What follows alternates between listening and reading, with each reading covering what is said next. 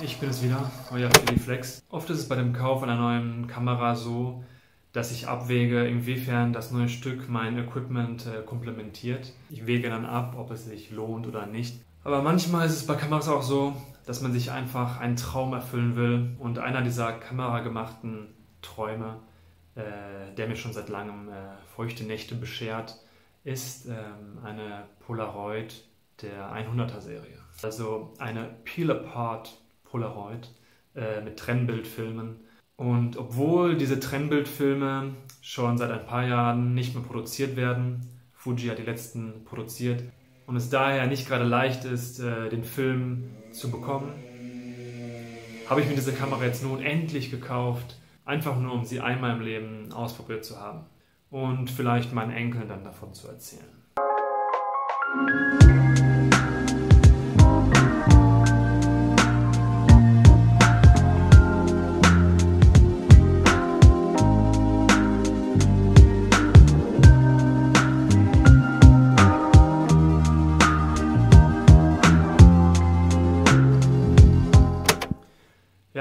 Polaroid 100er Serie. Man zieht das Polaroid noch eigenhändig aus der Kamera heraus und negativ und positiv sind zusammen. Man wartet dann circa zwei Minuten, kommt auf die Temperatur an und zieht die Bilder dann auseinander. Das heißt, man hat negativ und positiv getrennt. Ich habe ja nicht nur die Kamera gekauft, ich habe auch einen Film von Fuji gekauft.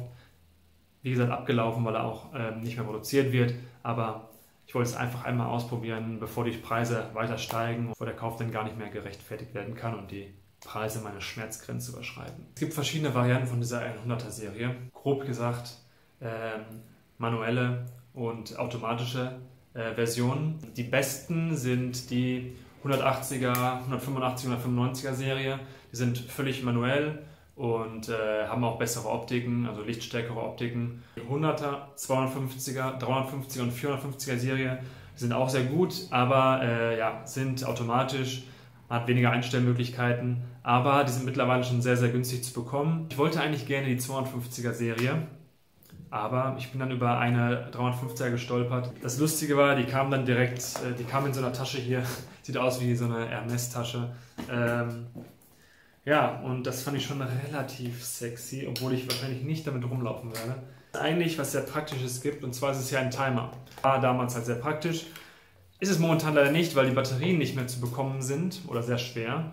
Und deswegen muss man eine kleine Operation vornehmen, um äh, handelsübliche AAAs äh, zu benutzen.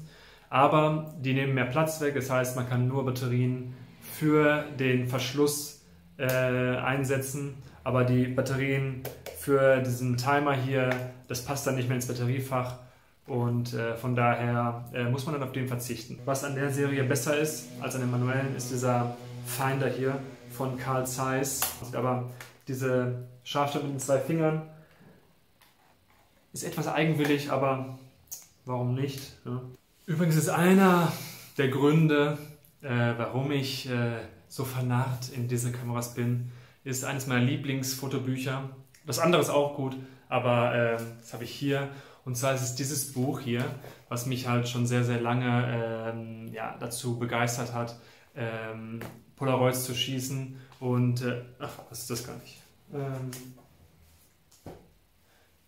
und zwar das hier von äh, Helmut Newton, Polaroids. Ich weiß, jetzt kein Geheimtipp, ist wahrscheinlich äh, vielen bekannt. Also nicht, dass jetzt irgendwie ein komisches Scene von Leuten, die in Alaska äh, Kühlschränke fotografieren. Aber ähm, ja, ich finde dieses Buch sehr, sehr, sehr, sehr geil. Ähm, ich weiß nicht, ob ich das hier mal so zeigen darf. Ähm, war auch das mein Plan. Das ist sozusagen mein Ziel mit dieser Kamera. Ich möchte ein paar weibliche, sekundäre Geschlechter.